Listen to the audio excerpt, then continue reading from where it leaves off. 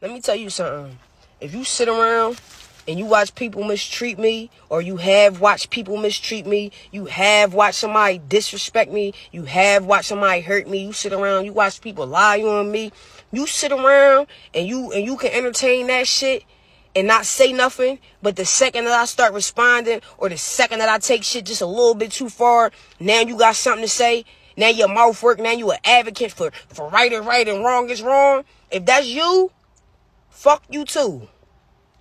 Fuck you too. And I mean that shit. Just because it's not coming out your mouth, don't mean you not co-signing the bullshit. So you sitting around and you watching the bullshit and you don't say nothing, you don't come to my defense, but you feel like you gonna say something to me when it's time for me to get my shit off.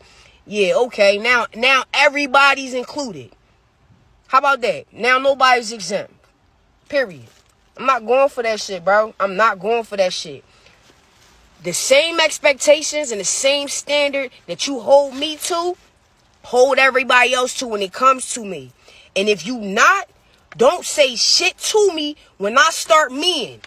Once me start MEing and I start taking shit too far and I start going to the moon, you better keep that same fucking energy. Mind your business, right? It wasn't none of your business. Mind your business.